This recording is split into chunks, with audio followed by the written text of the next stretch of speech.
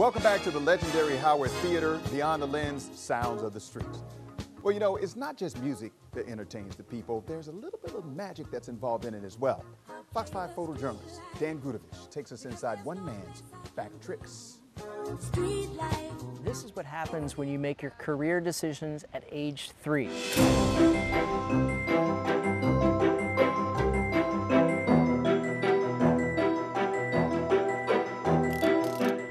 Like most about street magic is people have no idea that you're going to be there. What's your name? I'm Ashley. Ashley. That's correct. They're completely surprised that you're even there and that they're meeting a real magician and then you surprise them with the effect. they're not anticipating a show, they're just strolling along, enjoying their day, and boom, something impossible happens. Whoa! It's a communication. Ow. You know, I'm communicating with the audience. So what I'm about to show you is completely impossible, and they see it visually anywhere, anywhere, right there. So their response comes back to me as another communication. The queen of clubs. It feels like I've just snapped them out of oh, a moment where they may have been jaded or felt like they'd seen everything and then suddenly I show them something new and they light up.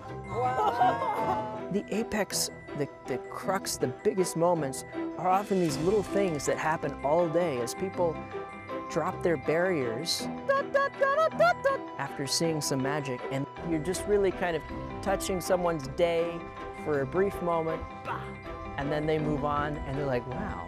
So it's cool to be able to kind of connect with people on that level anywhere and randomly when they're not even expecting it.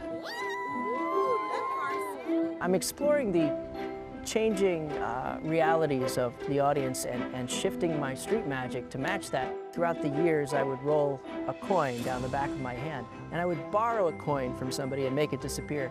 But now, many people aren't carrying coins. Thank you for that face. I used to be known for this floating wand that I would fly around an area, and people would go, whoa, and they'd be totally blown away. And slowly that faded, and I changed it to a selfie stick, you know, with a camera on top, and then I would float that and suddenly, bam, it was whoa again. So I'm shifting the street magic that I do to stuff that people would have in their pockets ready to go. Can you turn your cell phone screen on for me? Cell phones, credit cards, all of those things people use every day. That's what I want to do magic with. So the street magic is real to them. I need it to be extra, extra shiny, relevant to them, right through the middle here, and even stronger to them. Oh my favorite part about being a magician is all the people you get to meet.